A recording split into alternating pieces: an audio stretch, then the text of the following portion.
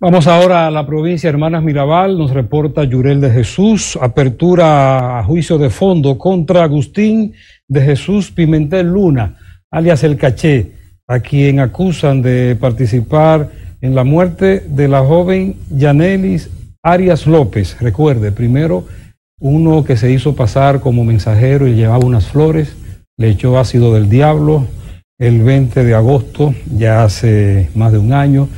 Ella luego murió con relación a este hecho. Escuchemos familiares, padres, abogados. Yo lo veo bien, que va bien el juicio. Hubo un inconveniente, pero hasta ahora todo está bien. O sea, van a seguir, eh, vamos a seguir en el juicio de fondo y se esperan buenos resultados. ¿Se sienten confiados ustedes? Sentimos confiados de que todo va a salir bien. Claro que sí, se hizo la apertura a juicio. Ya próximamente estaremos ya en lo que es el juicio de fondo y justamente eso es lo que perseguimos.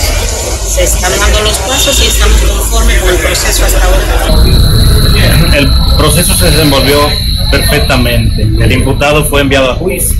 Se acogieron todos y cada uno de los elementos de prueba presentados por el Ministerio Público, a los cuales se acogió también la parte creyente y acto civil y entiendo que el imputado conjuntamente con el extraditable que próximamente vendrá al país se tendrá que encarar su responsabilidad penal.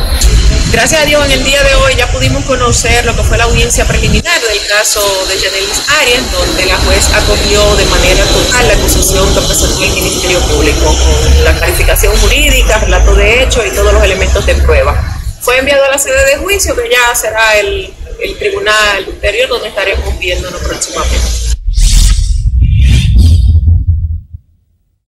Gracias a Yurel por su reporte. Vamos a la pausa.